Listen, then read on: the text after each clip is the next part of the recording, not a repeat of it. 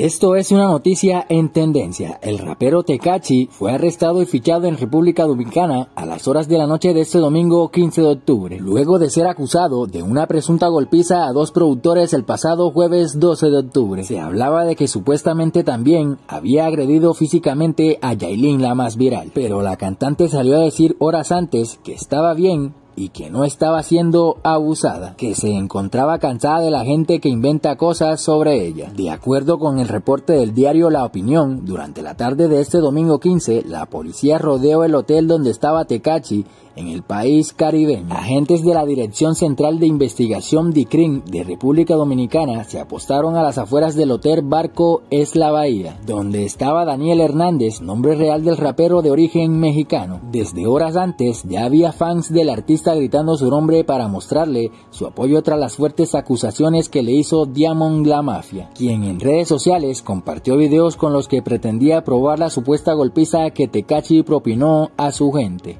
por parte del rapero se entregó de manera voluntaria. No creeremos en ningún tipo de actuación ilícita, dijo su abogado. Andrés Toribio citado por la cuenta El Gordo y la Flaca en Instagram. Más tarde, el show de Univision reveló la foto del arresto y fichaje del cantante. Desde el sábado 14, medios como La Opinión informaban que la Fiscalía de la provincia de La Vega habría solicitado a la Corte una orden de arresto contra él. Supuestamente los golpes que él y sus acompañantes le habrían propinado a los productores habrían provocado heridas que sandarían en más de 20 días. Aparentemente el cantante estaba intentando salir del país para evadir la justicia. Cabe recordar que ya el rapero cuenta con un historial de detenciones e encarcelamiento. El 18 de noviembre del 2018, Tecachi fue arrestado en Nueva York al enfrentar cargos por delitos vinculados con el crimen organizado y armas de fuego. Ya con esto me despido mi gente, nos vemos en una próxima.